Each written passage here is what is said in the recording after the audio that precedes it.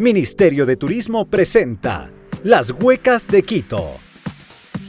Un recorrido por la ciudad de Quito, capital del Ecuador, nos permite descubrir tres lugares donde la vanguardia, la experimentación y la tradición conducen a degustar sabores únicos y extraordinarios.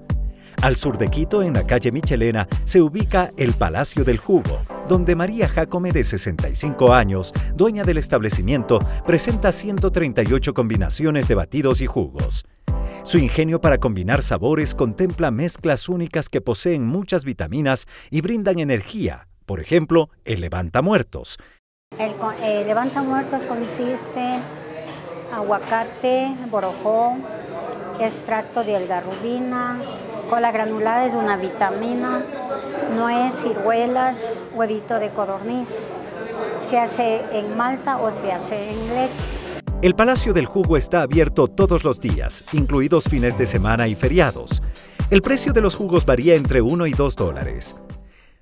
Nuestro recorrido continúa por el Mercado Central para buscar las corvinas de Gloria, calificado por la clientela como el mejor lugar para comer corvina en ese lugar.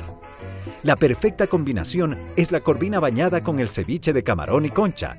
Además, se lo acompaña con papas fritas, arroz blanco o arroz relleno.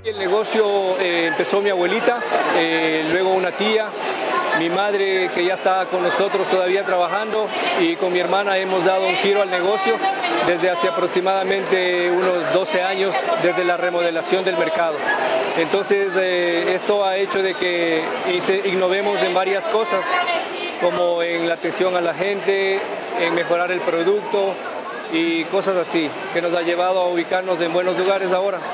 La creatividad y la inventiva nos cautivan cuando visitamos los helados de la Cuero y Caicedo, ubicados al norte de Quito, para conocer la preparación del helado frito. Luis Vallejo, propietario del local y mentalizador de este postre, explica que al helado se lo envuelve en una masa especial, secreto de la casa.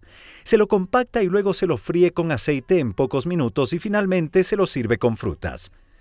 Lo increíble resulta contradictorio porque en este proceso el helado no se derrite. Me pareció interesante el tratar de hacer en un buñuelo un helado.